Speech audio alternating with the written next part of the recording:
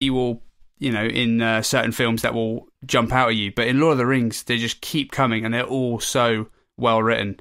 And uh, anyway, yeah. So I've been I've been nailing that recently a lot, sort of in my daily life, just putting that back in track on. nice, nice. um, so yeah, uh, that's my sort of guilty pleasure. Well, Lord this of. I, no, like, I'll agree with you. Lord of the Rings is incredible. It's epic, and although Hmm. I can't immediately recall the soundtrack straight away because I don't think I was focusing on that at the time, like I can imagine it's equally epic, right? It's I Mm-hmm. Imagine it's huge, lush, cinematic, orchestral. Well, it will go through. There's that, and then they'll have those for certain parts of the film and certain sort of um, themes. But then there'll be a a solo violinist, you know, playing like a sort of um, old folksy kind of vibe for nice. the Rohan people or whatever. Yeah. And you know, it'll just sound yeah, just dude. I, I can't describe it. It's just it's amazing. One of the reasons I love sort of orchestral music as well. Um, I go through phases of that. Is I don't know exactly what's going on a lot of the time. Like I can, I tend to analyze music when I listen to it. Um, Hmm. so it's nice to sort of have something that's like so much is going on, massive choirs. I don't know, Yeah, yeah. huge orchestras. Well, because we're I both can't- from a sort of contemporary, you know, like pop music background. Totally. Like it's a bit, it's Totally. a bit of a, an escape, isn't it? When you when you listen to some classical music or some choral or you know Gregorian chant or something that's like so Yeah. far removed from what we play. You know. Absolutely, it's great. It's it's a total. I can just not. I'm not thinking about it. It's not. It's not been. Um. Yeah. It's not being analysed, which is um Yeah. really really nice sometimes. Um. So yeah. So that's been my musical journey this week, and I've been loving it. I'm also picturing little sort of, uh, you know, when Gimli's walking along, little bum, bum, bum, bum, bum, bum, bum, bum, bum, bum. That's how, it's amazing Yeah. what music can do, isn't it? Like it can sum up a character like to within, Yeah. you know, to a T. It's 100%. Hundred percent. It adds so so much. Nice. Um, and I, I used to be the uh, thing. I used to think that if you didn't notice the soundtrack in a film, it was doing its job. Yeah. I, I kind of still with certain films I kind of do, but um, it does. That's not the case with Lord of the Rings. It, it just jumps straight at me, but I love it. It gives me the, the goosebumps are going. It's nice. not even necessarily the film, you know. It's the music Yeah, sometimes. yeah. So yeah, it's But good. I think there are two sorts of soundtrack, aren't there? They're like there is one camp, the Lord of the Rings camp, uh, and the sort of uh, Ennio Morricone. I think I pronounced his name right. You know, the, who did the old westerns and stuff. Sure. where it's sure. like it's original music, uh, you know, and like Hans Zimmer and people like that, and it's original and it's cinematic and it's very, you know, it's all been written specifically for the thing for the film. And then there's the other side of the soundtrack game where it's like Tarantino soundtracks or like Yes. uh, Guardians of the Galaxy when it's like, you know, existing pop or rock tracks, and Yeah. they just find a great way of just slotting in those tunes that, Totally. that you know that really g g you up right, when you watch yeah, it. Right? for sure. e- both of them equally great, but sort of I find they always sort of slot into one or the other, right? Yeah, I agree. I think there's maybe a third category you could say where it's purely atmospheric. Um, Right. and yeah. it's it's just there to give a, a mood and not necessarily give you a hook to hold on to. Yeah. maybe yeah. with uh, maybe a lot of horror films and a lot of um, yeah. thrillers and that kind of stuff, where where you haven't got this character. It's just like, oh, that's this is their theme. They've just arrived on screen. You've got this massive, this horn line or something that's that's um, giving you a heads up that they're there. Yeah. And also, and it's not going to be like a, a song that's like from popular culture Yeah, already. Yeah. Um, totally. Have you seen Baby Driver? Uh, yes, I have. Yeah, and he's got the headphones in the whole time, right throughout sure, the film. sure. And the entire, all of the action is sequenced in time with the tracks. Yes, yeah, Which- such a good film. yes, I'd forgotten yes. about that actually. Yeah. I was thinking Really, about really I was good. thinking about Drive for a second while you were talking. Then the uh, the is it Gosling Ryan Gosling? That's in that Mm-hmm. Gosling, film, you got it, yeah. And I think that's a bit more of that third category one that you're talking about, where it's just very there's lots of like ambient synths and that sort of thing. Yeah. Very Uh, vibey. Just, Yeah, yeah. vibey. totally. That's exactly the right thing. Yeah, it's not Mm. you never know when one song finishes and another one end. It starts. Totally. Do you know what I mean? Totally, Whereas, yeah. whereas Baby Driver's uh, like the Guardians of the Galaxy style thing. He's got a tape. Very hasn't he? He's even yeah. got a playlist on his little tape that he. Yeah. Yeah. I think he's got an iPod Classic because Oh, that's okay, what's, that, right. that's the tape of this generation. Right. nice. I'm making it a bit more vintage than it was. yeah, yeah. iPod Classic. Yeah, God, they Yeah. were great. In fact, I found one of those in the drawer the other day. Like, no way. I think it was quite a large one for iPod. I think it was like 120 gig or something. Yeah, well, they were pretty one of the big. large- yeah, Yeah, they were they were the biggest out there, I think. Like, yeah. mm. They were good. But They the were only- the only that, problem the is- clicking. You got, and you were Yeah. like swiveling around. Oh, it felt good. nice. yeah, the only problem is you can't get the music off it, right? So if you if you like, you know, obviously, I think that that was to stop you from stealing loads of music, right? If you just gave Yeah. you, you know yours to your mate or whatever. However, if it's your music that you've originally like uploaded onto it, but then that's from like two or three computers ago, and now you want Mm. All sure. that stuff back off it, you can't. Mm, 'Cause no. It just syncs with your. You know, Yeah. the, there's the four songs that you've got on iTunes nowadays that you've bought. You know, Yeah, yeah, yeah. I, I remember the iPad, the iPods rather. You, if you plugged it into a mate's computer, it would just wipe the iPad. Yeah, iPod. yeah, and start singing all his stuff. You're like, whoa, It would just be whoa, like, oh, yeah, yeah. stop! Getting angry at other people. Other people. I'm quite yeah. good at that.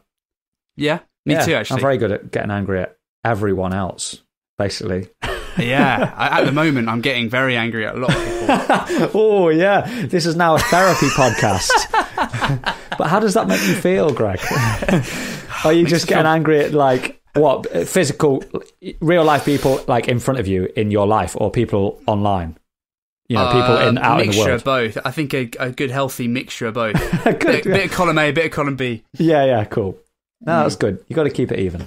Yeah, I think so. As long Now- as you, as long as you hate everyone equally, that's That's no, it. no problem. no one can fault, right? no one can fault you for that. No. Yeah, obviously there's a problem if you start picking certain people, but if like Mm. like when I'm at the airport, I just get you know tall, short, black, white, man, woman, old, young. If they're getting in my way, I am grumpy. Mm-hmm. yeah, I'm very grumpy. Totally. Totally.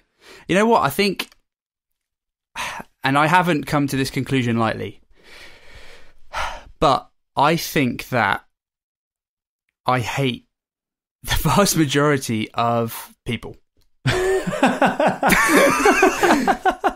the society that we live in is Yeah, yeah, I, I struggle sometimes just just um, conversing with uh, people, especially Yeah. online. It's not really conversing with them, just looking at what they say. Really yeah, yeah. is the main issue. Oh, but you've got to avoid that, man. I've yeah, I right. I do You're that, and totally it's like a it's a cesspit, isn't it? It's just Yeah. like you know, right or wrong. It's like it Mm. just winds it just winds me up. Do you know what I mean? I'm not saying that I'm right on a wide variety of subjects. I'm probably very wrong, but just Mm. it just I, realize at the end of it, I've like God, you know, even if I've chipped in once or twice, you know, I've just spent an hour just fuming, and it's got me nowhere. Yeah. I mean, it felt good at the time because I was like, "That's that's ridiculous. How you how Yeah. can you say that?" And I'm thinking this and thinking what I'm going to write, and I rarely actually type the tweet or whatever it is because I'm just like, "Nah, I can't say that." but, yeah, uh, you're right. yeah, but uh, yeah, you know what I mean. But it's it's it, like maybe it's a good therapeutic thing to write something down. Maybe Mm. not actually in the tweet bar because you might accidentally send it, but like you know, just to write something down and think, "This is what I think. This is why I think you're wrong," and then go, "Feels better." Mm. from just writing it out or just saying it Totally. out loud, and then just going, "That's all right. It doesn't matter. It's not going to change anyone's mind." Or and It's then it. just It's the deleting it. classic, like write, write. You write the letter to the bo- the boss, Yeah, yeah. but you never send it. No. You never send it. Otherwise, you've got like an Adam Sandler film if it accidentally Yeah. sends, and then you've got to spend Yeah. the rest of the film like getting your job back and stuff. yeah, totally, totally. yeah, no, it's um, you're right. That's why I stay away from Twitter because it's just yeah, there's just nothing there. Speaking of nothing there on Twitter, uh, that's a good little segue because we Mm. now have Twitter. We now have Facebook. We now have Instagram. We now have YouTube. Uh, I don't know what we're going to put on YouTube because there's no visuals, but Mm. we've got uh, yeah, we have all the platforms now, so you can follow us on all the all the, the all the various ones and keep up to date. smooth. Smooth, That was very smooth, Adam. too smooth. I'm very impressed. No, it wasn't. It was we- just smooth enough. Actually. We didn't even practice it. No, bloody hell. God, you're so good at this already. I need to up my game. You're bringing gavels. Where's your marketing, man? Segues. I'm trying to get free beer from Monkey Breweries, and yeah. Oh, it's about man. time we had a sponsor, isn't it? I We should. I think uh, so. I think we deserve it. After, what, four episodes? Yeah, We deserve a sponsor. so. We've sat and we've nattered, drunk a few beers. I Yeah. think we deserve some free stuff. Bloody hard work it was.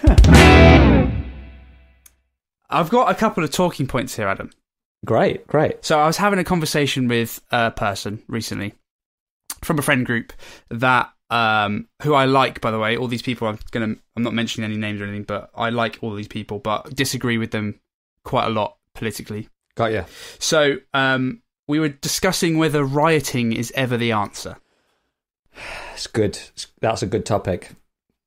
So I don't Yeah. obviously I don't want to get into nitty gritty of specifics here, Yeah. but let's assume that the issue at hand is a very real one, uh, and people are rightly angry at something that's happened. yeah. Let's assume that because I don't want to get into the, the mud there. But Yeah, yeah. Um, is writing ever going to solve the problem? What do you reckon? Oh, that's. I've been thinking about that a lot. Obviously, as probably most people have. Um, you know what? I, I think if you think about it in very basic terms, it's almost like a sort of Christian way of thinking, isn't it? Where it's like, do two right, do two wrongs make a right? hmm And, you know, just my gut feeling is that if you, I don't feel like, you know, hurting someone or smashing something or burning something, I don't feel like that ever helps. Uh, Obviously, there's, there's, yeah, there's been a lot of horrible things that have happened that are people are quite rightly hugely angry about, of which I'm one. I'm very angry about them as well. But yeah, I, you know, recently I, I saw this video. By recently, I mean this morning. Saw a video of a, a bloke who was. Uh, this was actually from the 90s. It wasn't a recent thing, but similar situation. And this bloke had had clearly had some of his shop or his property or something burnt down and smashed up. Um, and he was just in tears, this bloke, and he was just like screaming at these protesters, like, you know, he was basically saying, "I'm on your side. I'm this, like, I'm the same as you. I want the same Mhm. thing, but like, I've tried to make it, and you've burnt my shop down." You, you know, and and I, that just made me think. Like, it was really upsetting. And I just thought, God, like, that's not, you know, you've got to direct your anger to some to something more worthwhile, right? Or to, to somebody who it might be a bit more effective on. But if you're just like, if you're smashing stuff or stealing stuff or burning stuff, it's like, it's not, I, I don't feel like it helps, you know, but I, but I'm not in any way undermining, undermining the anger felt by a lot of people because it's Mhm. completely justified. And, you know, if I was in the same position, I'd probably feel like going out and smashing something up as well. I, I, Mhm. I'm, I'm sure I would. I'd be, you know, like like I just told you, I get very angry when someone cuts in front of me at the airport with their Yeah. their suitcase trolley. So you know, if, if some if something terrible happened to me, or you know, yeah. one of my family or something, like I'd I'd want to do the same. But I'd also have to try and stop myself and think, how can I like, like how can I get my point across? Like, I don't know, maybe in a different way. I'm not sure, but Mm. but pro protesting, I, I Mm. completely agree with. But I, Sure. I think it's just the sort of smashy, burny stuff that's that I'm maybe not on board with. But but you know, I'm completely willing to be disagreed with.